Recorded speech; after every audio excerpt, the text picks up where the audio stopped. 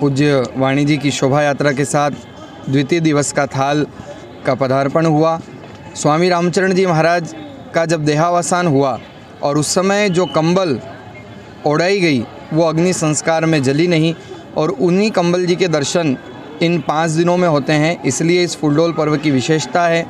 देश विदेश से, देश के कोने कोने से भक्त लोग अपनी आस्था, श्रद्धा, निष्ठा लेकर के उपस्थित होते हैं और इस शाहपुरा राम निवास धाम में अपनी प्रार्थना करते हैं, अपनी अर्जी करते हैं। आज दूसरा फुलडोल पर्व हुआ। कल से महाराज श्री के समक्ष चातुर्मास की अर्जियाँ भी प्रारंभ हो जाएगी और रंग पंचमी को ठीक अभिजीत मुहूर्त में सवा बारह बजे आचार्य श्री का जो अगला चतुर्मास होने वाला है, उसकी घोषणा आचार्य श्री के द्वारा होगी।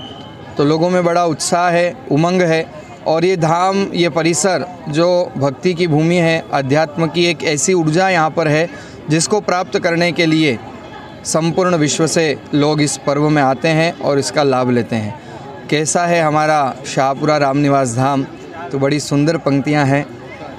शाहपुरा श्री राम सनेही, आश्रम प्यारा है।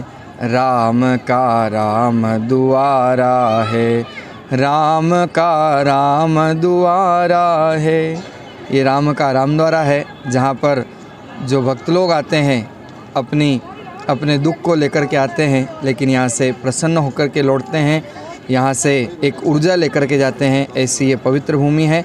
आइएगा और शाहपुरा फुलडोल महोत्सव का लाभ लीजिएगा। राम।